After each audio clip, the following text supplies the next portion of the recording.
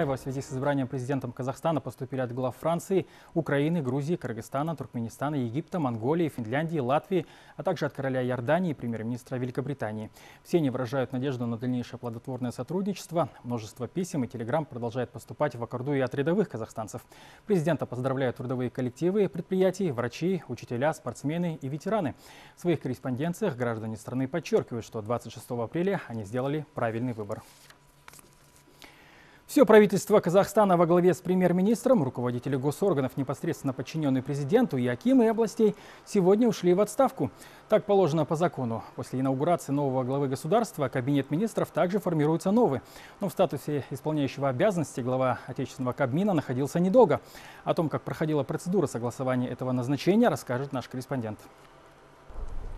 Сейчас важна преемственность, да и на раскачивание нет времени. Именно так глава государства сегодня объяснил свое решение, предлагая на рассмотрение руководителям фракции Мажилиса кандидатуру Карима Масимова. Эта встреча проходила в Аккорде практически сразу после инаугурации Нурсултана Назарбаева. Но прежде чем озвучить свое предложение, он обратился к своим оппонентам по прошедшим выборам. Я благодарен кандидатам в президенте и Саздыкову, и Хусаинову за проведенную работу.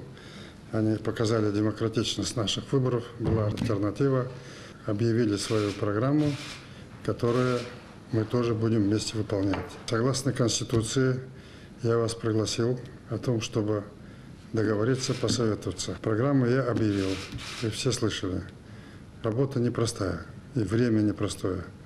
Для раскачки нет времени. Поэтому вот провели инаугурацию в соответствии с Конституцией, законами. И надо, чтобы правительство без никакой задержки работало. Поэтому я хочу внести предложение Масимова премьер-министром, чтобы он сформировал правительство и продолжал работать.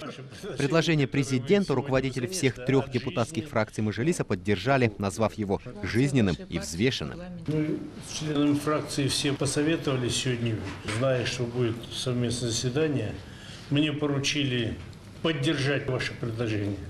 Ваше предложение, которое вы сегодня высказываете, оно, конечно, от жизни, взвешенное, и мы его поддержим. Спасибо большое. При той народной поддержке, которая вам оказана на этих выборах, э, безусловно, мы э, поддержим ту кандидатуру главы правительства, которую вы несете. И более того, если говорить о том человеке, о котором мы сейчас сказали, мы знаем, что в тяжелый период, период кризисов, э, э, он руководил работой правительства, мы поэтому готовы поддержать, конечно. Ну, Фракция вашей партии в парламенте, безусловно, поддержит ваше предложение. К тому же у нас на сегодня очень хорошие конструктивные взаимоотношения складываются с правительством. Они прислушиваются к мнению депутатов. И многие вопросы мы вот в рабочем порядке спокойно решаем. Поэтому наша фракция, конечно, поддержит эту кандидатуру. Спасибо. Посоветовавшись с руководителями фракции, Нурсултан Назарбаев принял участие в бюро Мажилиса, где выслушал мнение уже руководителей комитетов Нижней Палаты парламента. И только после этого он направился на пленарное заседание Мажилиса.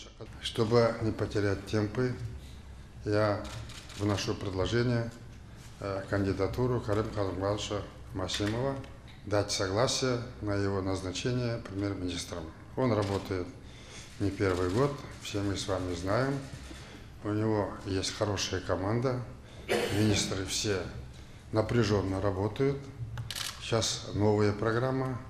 Я должен утвердить комиссию, которая немедленно после праздников приступит к работе. Он справляется, у него есть потенциал, соответствующие знания, и думаю, что мы можем ему доверить дальше.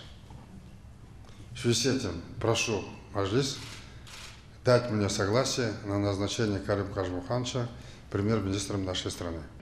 Предложение президента мажилисмены поддержали единогласно. 106 депутатов из 106 проголосовали «за». Карим Кажмуханович Масимов, да, премьер-министр болып тағайындалсын.